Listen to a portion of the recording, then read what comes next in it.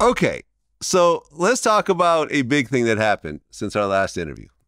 Katt Williams went on Club Shay Shay, and you got brought up.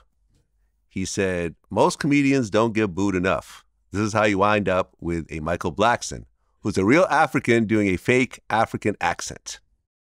He said that he gave you the best advice of your life and said that you used to wear dirty dashikis and you should dress to be in the position that you're trying to be in. And he also said that if you're trying to be the king of African comedy, you should open a school in Africa. said that you took his advice, changed your whole persona, and then hated him for it.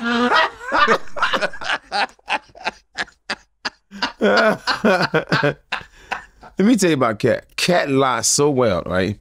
That he almost made me believe what he said about me was true. That's how good of a liar this guy is. You know, we are like in a moment of like, you know, everybody telling how to feel. You know, people are getting older. The older you get, the less fuck you give. You know, at the same time, you know, you start to speak your mind, and you know, whoever has ever pissed you off, you know, this is time to fuck everybody back and just, you know, there's nothing wrong with speaking your mind. There's nothing wrong with, I mean, I was just a tip of the iceberg. I mean, he went big on everybody. Oh yeah. You know, um, and I just believe that you know, we're in America. It's okay to speak your mind, say whatever you believe, but you don't have to tear each other down. You don't have to tear people down doing that, and you don't have to lie. I mean, there's so much, you know. Don't get it wrong. I mean, the thing about it, there's so much. There was a lot of truth in what he said about different things that's going on in Hollywood and people.